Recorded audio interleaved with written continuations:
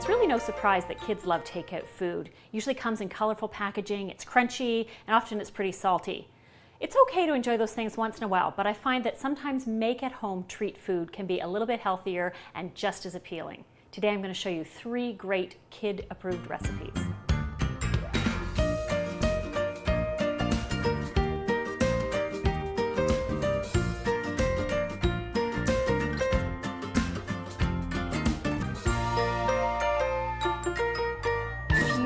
Nugget, most kids get excited because they just assume it's probably something like breaded chicken. Today I'm going to show you how to make cauliflower nuggets that are really delicious and if you don't tell the kids what they are, they'll probably inhale them without even blinking.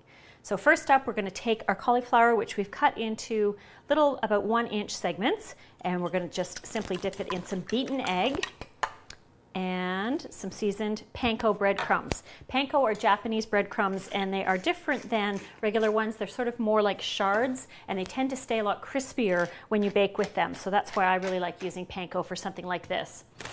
I'll just give that a little stir. And it's a little bit messy to do this breading job, but it's well worth it because it's so delicious. And this is again a great vegetarian option instead of say chicken nuggets that we talked about. So you see how easy it is to just dip and bread those. I try to do it with just one hand to keep one hand clean in case I need to reach for something. And if your kids don't mind the thought of eating cauliflower nuggets, this is a great recipe to make with them. They'll enjoy the dipping as long as they don't mind getting their hands dirty. And there's lots of different sauce possibilities. We're going to make a sweet uh, chili sauce that is a real favorite of lots of people. We're going to cook these up in the oven. They don't take too, too long to get crispy. But you can also make this recipe in an air fryer if you happen to have one. And if you don't know what an air fryer is, it's like a tabletop convection oven that blows hot, hot, hot air over the food that's sitting in a basket and cooks it in a little bit less time and with no oil needed for a lot of food. So you can make french fries, sweet potato fries, even uh, chicken nuggets, back to the chicken nuggets again, all without oil. Now with this recipe, with the cauliflower, we don't need oil either. The only downside of air fryers is that the baskets tend to have a limited capacity, so you can only make small batches. But they are a handy gadget if you have room for another gadget in your life. There we go. It just takes a few minutes to do this, but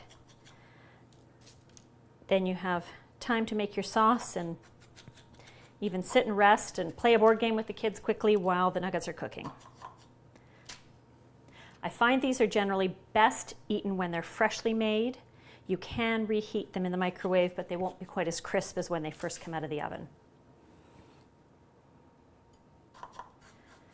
You can see how having a few sets of hands might make this job a little bit faster or a little bit messier, hard to say.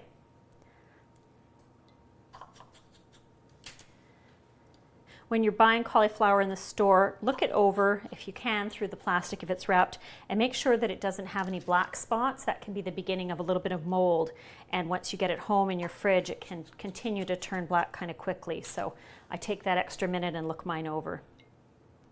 We had a crisis where cauliflower ballooned in price a few years ago, but that seems to have subsided and now it's an affordable vegetable that you can find all late summer, fall, and even into the winter.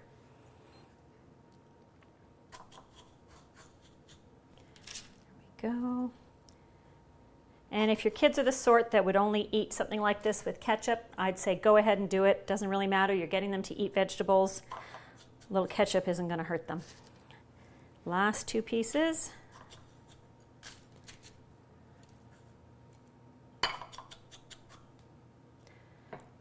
There we go. So into the oven with this tray. Just wipe my hands off first and then we'll make our sauce while it's cooking. All right, so while our nuggets are getting cooked and crispy in the oven, we're gonna make our delicious dipping sauce.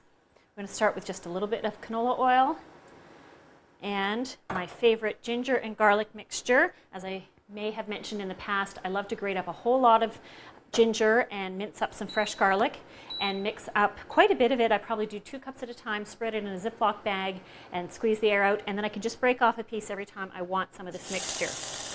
It's a combination I use a lot. All right, and then we're gonna add some soy sauce. I'll simmer things down a little in that zippy pot. And then some sweet chili sauce. This is great because it's kind of got a little bit of heat and the sweet, as the name would suggest. And it's just a bit more interesting than plum sauce. If your kids are not big fans of heat, then you could just use regular plum sauce instead of the sweet chili sauce. So we'll add that in. There's lots of great dipping sauces out there that you can buy as well if your family has a favorite one. The Asian ones tend to be really great with cauliflower. Go ahead and use it. Now I'm just going to juice up this lime. We want about two tablespoons or so, which I think is what I've got there. And lime all over my hand. There. Give this a stir. Pretty straightforward. If you find you're using a lot of this sauce, you can make up a batch and keep it in the fridge for probably four or five days. Now we'll add in our lime juice. And then we just want to bring it barely to a boil. You don't want it scalding hot when you put it on the cauliflower, but you definitely want it warm. Give it a little bit more heat to get it up to the boil. You can see the little bits of the chilies in there, the peppers, and also I think they've put a bit of carrot in it for some contrast. And then we've got our lime pulp.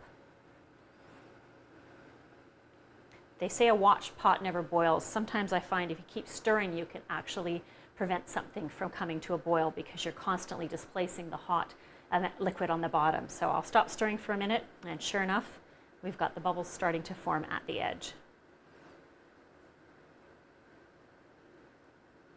Great, now that that's bubbling, it's all ready and we'll just turn it off. It'll stay warm sitting there and we'll wait for our cauliflower to be finished and then we can plate it and put the sauce on it. All right, we've got our golden crisp, beautiful looking cauliflower nuggets fresh out of the oven. They smell so good. And now we're just gonna put them on our serving plate and put our sauce on it. They're really, really nice and crispy. And it's the kind of thing that, uh, it's not just for the kids. I love eating these. They're a really fun thing to have for lunch. They'd be a fun um, snack to serve if you were having a party. You could even make up little bowls or baskets of hot cauliflower nuggets and uh, serve them that way for people with their own individual dipping sauces if they wanted. Maybe even a cauliflower nugget buffet with four or five different sauces. Usually in my family, we just eat them right off the tray, but I'm doing it fancy for you guys today. All right. So now we're going to take our sauce. And you don't want to overdo it. Just drizzle it on, and then you can always have a bit more for dipping on the side. But it also makes them look a little bit more festive.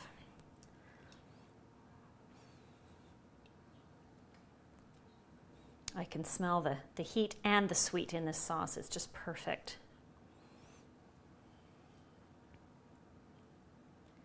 Another way to do this would be to transfer it to a measuring cup or a jug and then you could drizzle it a little more quickly, but I'm just trying to not overload it as I said.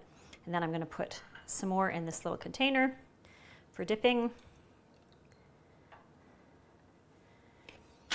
And then we're going to dress it up.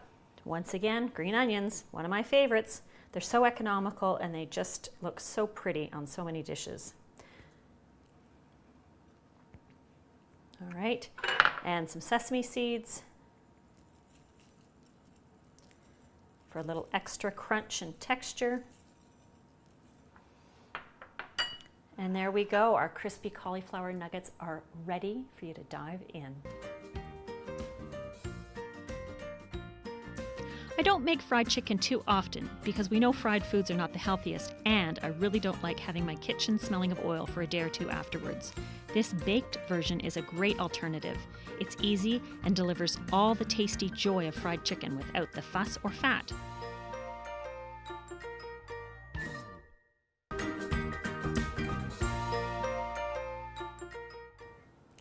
One of my favorite tips that I love to share with people is to freeze meat in marinade. This chicken's been in a buttermilk brine. It did its magic as it froze and continued as it thawed. Ziploc bags and a Sharpie marker and you don't have to wait 12 hours to enjoy your favorite marinated meats anymore.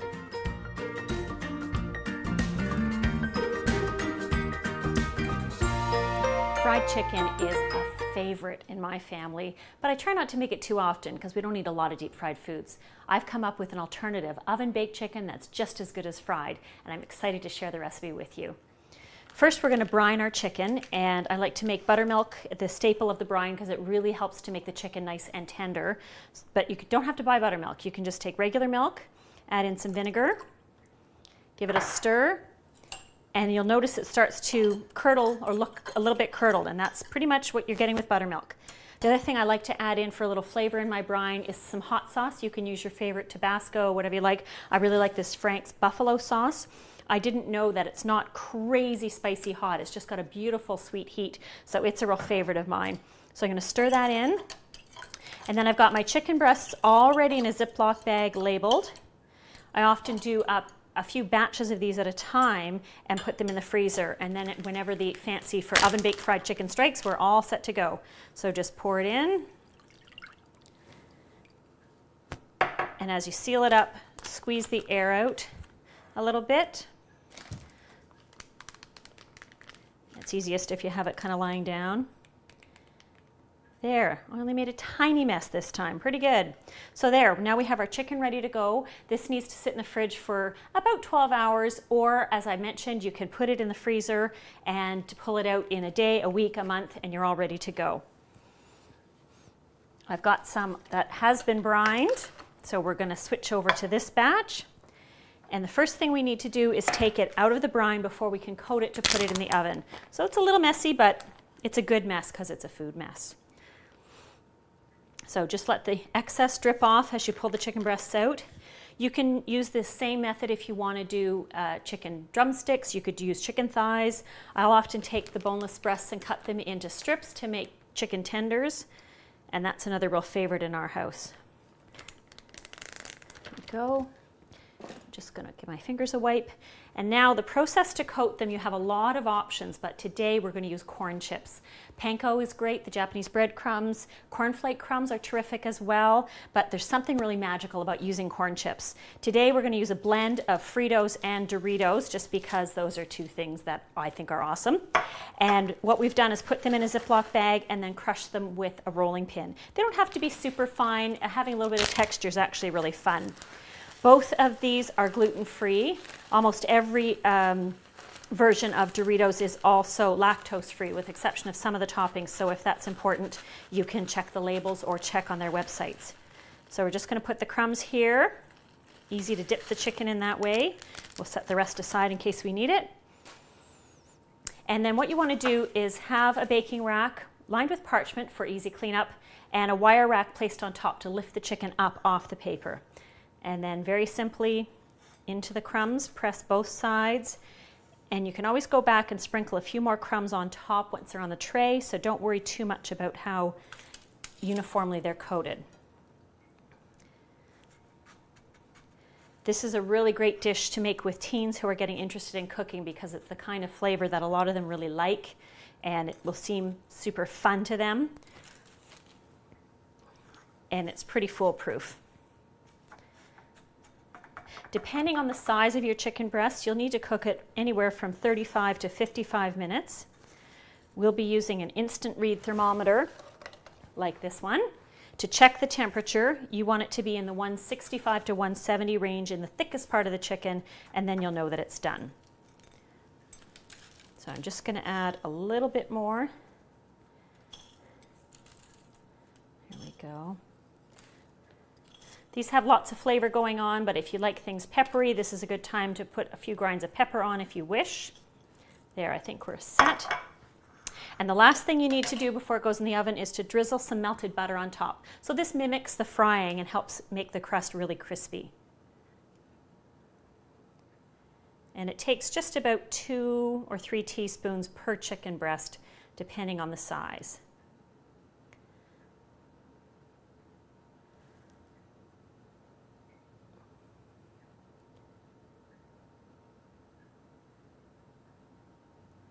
There we go. Now we're going to slide this into the oven. It's set at 400 degrees and we'll let it uh, sit and maybe you can prepare some side dishes, a nice salad or some cut up vegetables, whatever your family likes. All right, our chicken's been in for about 47 minutes and it looks perfect to me. I love how the texture of the crumbs really shows up in the coating. We're just gonna check the temperature here. 171, that's perfect. It's really important to make sure you don't undercook your chicken. Anything below 165 really isn't safe, but also you don't want to overcook it or it's going to be tough and dry. If it's chicken on the bone, the areas near the bone are going to cook faster, so you need to cook to check the temperature perhaps a little bit sooner than you would with a boneless cut of meat. We're going to just transfer it to our serving plate. And if you want, this is also something fun to serve with dipping sauce a plum sauce, some more of the Frank's hot sauce, a blue cheese dip, really whatever you think your family would enjoy. Look how great these look. Guilt-free, almost fried chicken with a fun corn chip crust. I blame my Nova Scotia heritage for my love of all things ginger and molasses. It's a combination I use often in cookies, cakes, waffles, muffins, and more. These bars are squares, just depends on how you choose to cut them, are the perfect blend of cookie and cake, and the candied ginger on top is a real treat. They're delicious on their own, but even more festive with a scoop of ice cream or a dollop of whipped cream. If you're making a festive meal that's going to appeal to your kids, of course you have to plan for dessert. In our house, all things molasses rule. Ginger cookies, gingerbread, we love them all, probably because of my Nova Scotia heritage, because I make them often. I've invented something new and it's a gingerbread cookie bar and I'm excited to share that with you today. We're going to make the batter, sprinkle some crystallized ginger on it, bake it up, and they'll be ready to eat as is or even better with some whipped cream or ice cream. To start, we're going to put some sugar in our mixing bowl.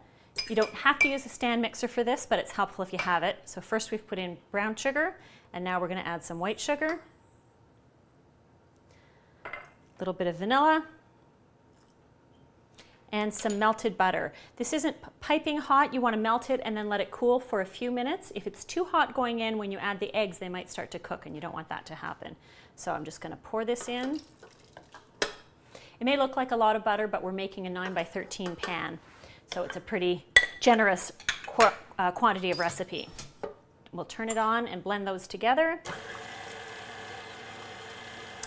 The only thing you want to watch for is to make sure there's no big lumps of brown sugar. Depending on the age of your sugar, it may have started to solidify. If that happens, stop it and use a spatula to crush the lumps.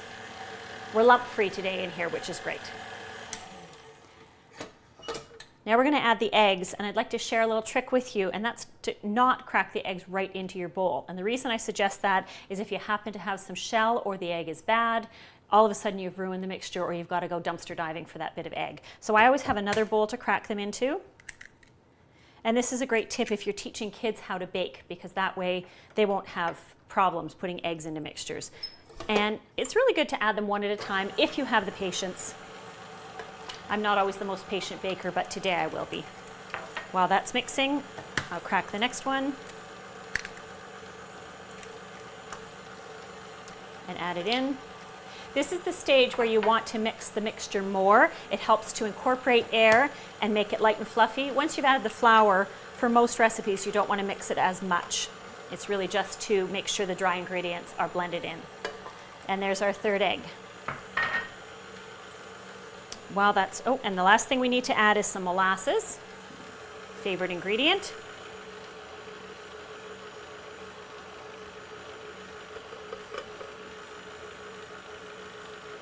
One more little scrape here. There we go.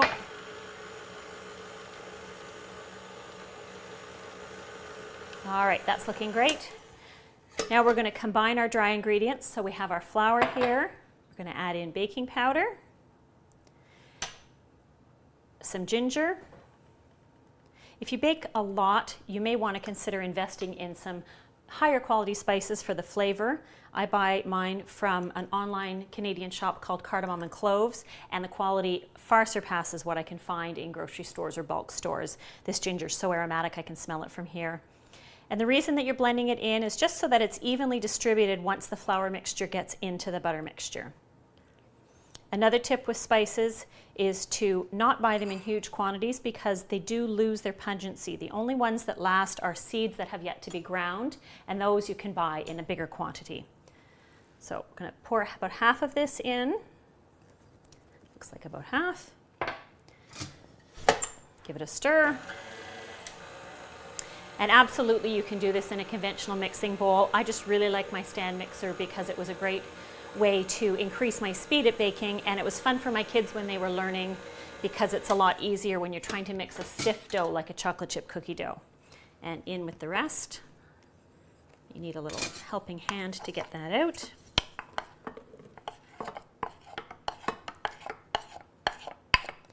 There we go. And one more trip around the mixer. And that's it, our batter's made.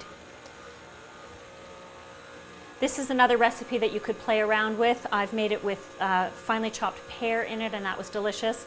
Cardamom, one of my favorite spices, is a natural match for molasses and ginger. You could easily put apple in. You could even lay the fruit slices in the bottom of the pan before you add the batter and then serve it upside down cake style and that'd be fun. With the stand mixer, sometimes you'll find that there's a little bit of flour lurking in the edges. So I'm just going to give it a quick manual stir. And then we're going to put it in our pan.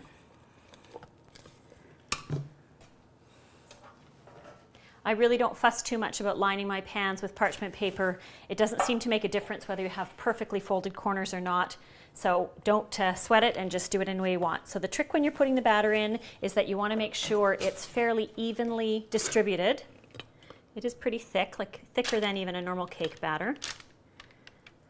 And that's why this is kind of a cross between a cookie and a bar or a square. It's, it's just magical. And once we've emptied the bowl, then we can spread it around to make it even in the pan.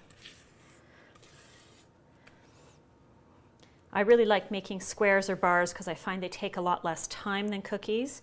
Cookies can be tedious to portion out if you need to do a big quantity of baking, but with bars or squares, you just load up the pan, and then depending on the size you choose to cut them in, you can have a whole lot of servings in a fraction of the time. Most bars and squares tend to lend themselves really well to freezing as well. All right, give that a little scrape. And the crowning touch for these is just a bit more ginger because who doesn't love ginger? It's supposed to be really good for the digestion as well.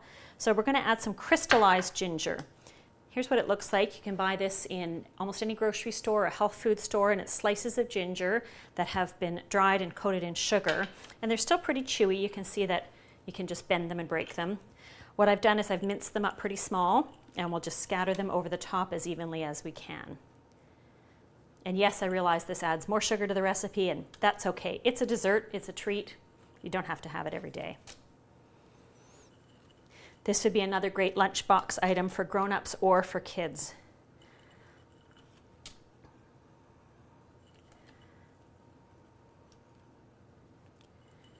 If you wanted really tall bars, you could spread this mixture in an 8 by 8 pan instead, and you would just need to increase the cooking time to account for the depth.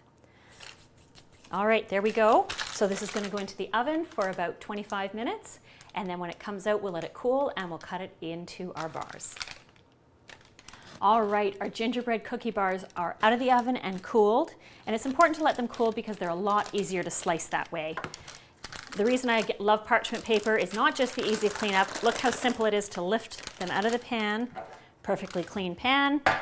And then you can just fold the edges down to start cutting.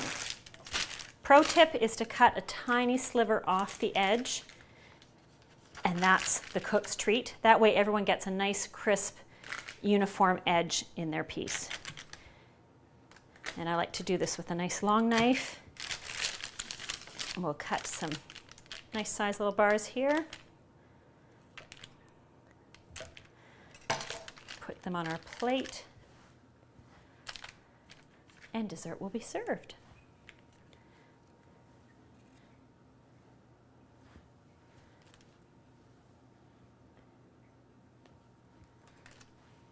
Gingerbread cookie bars, the perfect finish to any meal.